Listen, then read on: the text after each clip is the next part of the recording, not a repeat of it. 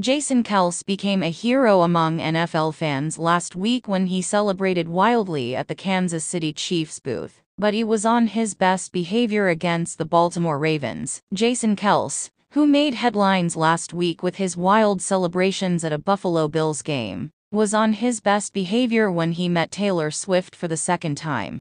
Hello viewers, welcome to Celebrity News. Please subscribe to always stay updated with all latest information about American celebrities. Don't forget to click on the notification bell to be notified whenever I drop my next video.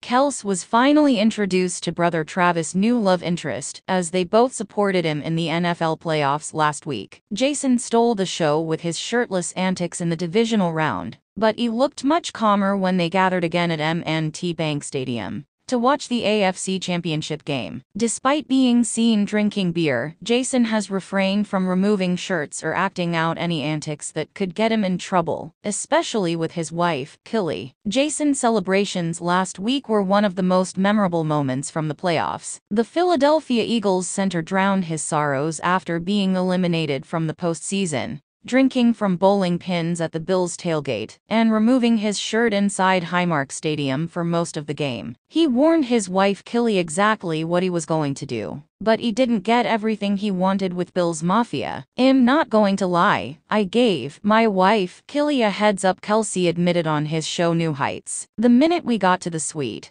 I said, I'm going to take my shirt off and take my shirt off. I'm jumping off that suite. And she said, Jason, don't you dare. I'm not asking for permission. I'm doing this, Kylie joked, which is the exact quote I'll say when I grab my keys to go get a cat. She then shared her side of the story on Good Morning America. He wanted to get the full Bills experience, Kylie explained. The Bills are notorious for their follow up skills. He desperately wanted to look at the table. It was on his checklist for today, top priority for today. He didn't get the chance to do that, and he didn't succeed. Dot Killy added, as soon as he got into the suite he said, I'm going to take my shirt off and I'm going to jump out. I said, I don't think that was the best idea. That was the constant energy he had going when he was trying his best to break the table.